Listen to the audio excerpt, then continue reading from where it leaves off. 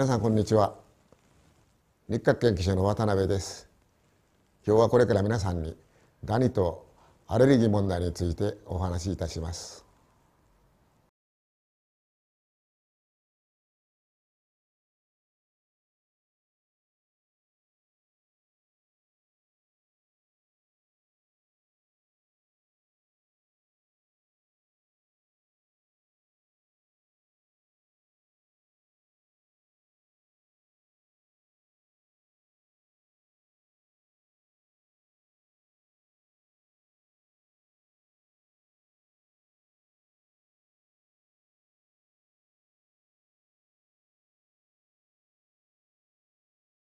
タイプの掃除機で紫外線でダニを殺すという表示をする広告も見かけますがこうした製品はダニ対策には有効なんでしょうか？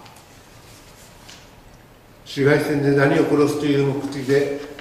布団を天日干ししたりしますが紫外線でダニを殺す効果はほとんどないと思われます。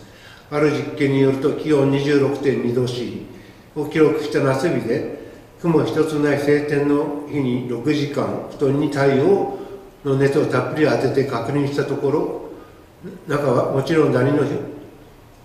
中にはもちろんもちろん布団の中でもちろんダニの表面すらほとんどダニは生きております。元気に動いています。紫外線のみ6時間あった実験でも同じような結果があったと言われています。